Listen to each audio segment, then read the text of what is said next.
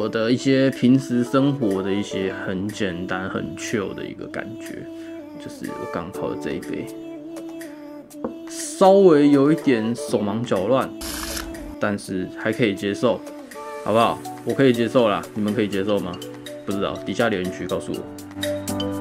我们在法国的影片上面出了点小小的问题，所以导致很多的素材档案没办法如期播放。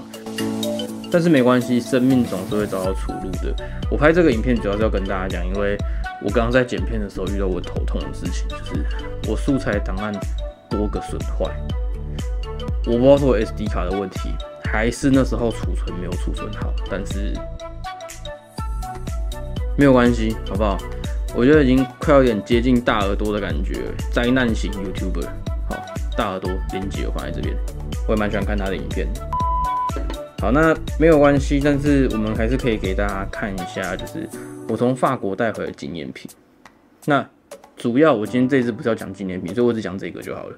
这个我我觉得它很特别，为什么？因为这个金字塔的大小就是摆在你家的当装饰，我觉得刚刚好，就是不会到大到很突兀，但是又不会小到好像没有存在感，好不好？这一个我记得我那时候买大概九欧还是十九欧，也忘记了，反正尾数是九还是二十九欧。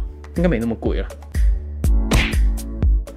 对。然后这个是在巴黎铁塔正下方买的。我今天相机怪怪的，好没关系。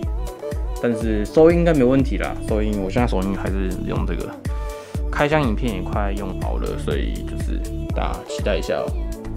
我们看一下从巴黎铁塔正下方看上去的感觉，大概就是长这个样子，好不好？我会把那个图片放在旁边，就是。算了，我把它放在一起好了，有一点空间放图片，这样子，好不好？那今天呢，这个就是大致上的影片，对，有点废，真的蛮废的，我讲坦白的，跟大家稍微讲一下，就是我们的影片素材出了点问题，知道？我也不知道发生什么问题。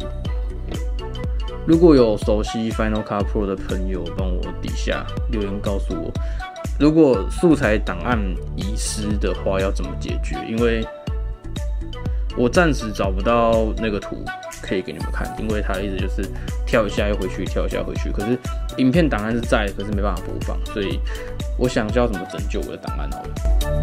以上是今天的影片，喜欢你看按赞、订阅、分享，非常简短、非常废的一支影片，我。自己都觉得很废，我等一下在剪片的时候应该觉得很荒谬，到底在拍什么东西？就这样，拜。